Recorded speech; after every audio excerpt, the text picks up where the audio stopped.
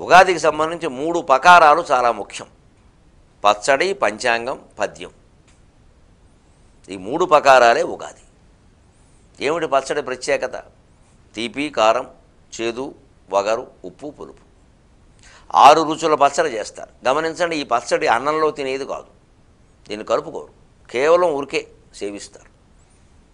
ఇది మళ్ళీ దైవ ప్రసాదం కూడా కాదు. ఉగాదికి దేవుడు లేడు కాలపురుషుడు. ఊరికి కొత్త సంవత్సరం అని ఆనందంతో చేసుకునే పండుగ దానికి దేవుడు లేడు. అలాగని దేవుడి గుళ్ళోకి వెళ్ళకుండా ఉండవు. మామూలుగా వెళ్ళని వాడు కూడా ఉగాది నాడు గుళ్ళో కడతాడు.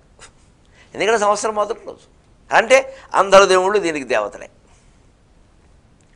ఈ పచ్చడి ప్రత్యేకత ఏమిటంటే ఈ రకరకాల రుచుల సమ్మేళనంగా నీ జీవితం సాగాలి. దీనికి భౌతికంగా ముందు అర్థం ఈ ఆరు రుచులు రోజు మన జీ మన భోజనంలో ఉండేలా చూసుకోవాలి. ఆరోగ్యం బాగుంటుంది తీపి ఉండాలి. మనం రోజు చేసే భోజనంలో ఏదో ఒక తీపి పదార్థం ఏం లేకపోతే వెల్ల మొక్క.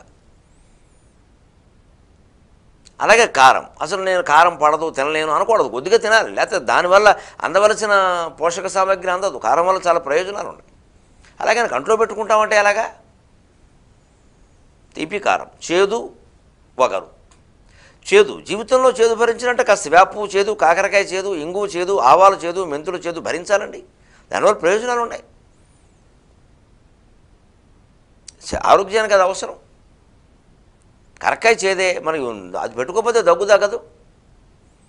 చేదంటే అలాగా చేదు పనిచేస్తుంది అనమాట అలాగే వగరు మామిడి లేత మామిడి పిందెలు ఒకరే కానీ ఎంత సరదాగా ఉంటాయి. జీవితంలో కొన్ని ఒకరు ఒకరుగా ఉంటాయి. ఆ రోజు తినే వాటిలో ఆ ఒకరు కూడా ఒక వెలక్కాయ ఒకరే వెలకపచ్చరు ఒకరు తినాలి. అప్పుడప్పుడు తినాలి రోజు కాదు. అదే రోజు భోజనంలో ఈ ఆరు ఉండేలా చూసుకోవాలి. అలాగే ఉప్పు ఉప్పు లేకుండా అసలు కూర కుదరదు. ఉప్పు ఎక్కువ వాడద్దని చెప్పక్కల అనవసర ప్రచారం అది. ఎవరు ఎక్కువ వాడరు. ఉప్పు ఎక్కువైతే తినలేము అసలు.